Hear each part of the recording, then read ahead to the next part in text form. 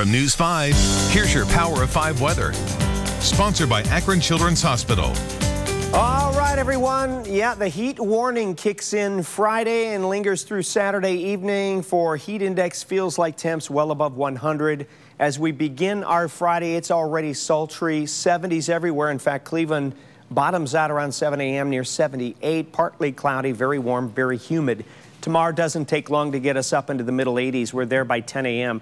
We're at 90, 91 by noon, and we're in the mid 90s by 4 p.m. And again, those are actual air temps. The heat index that feels like anywhere between 105 and 112 degrees. Find a way to stay cool. Hazy, hot, humid tomorrow.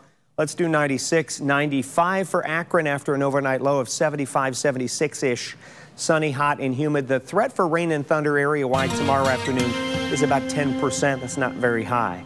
Saturday, we'll do it again. 96 degrees, a heat index well above 100. Sunday, we'll get close to 90, but rain and thunder may limit our temps a bit. It's still going to be very humid out there. And finally, Monday, a few storms, 77, and we're upper 70s and lower 80s through next week. A little less humid as well. Have a great night. Sponsored by Akron Children's Hospital.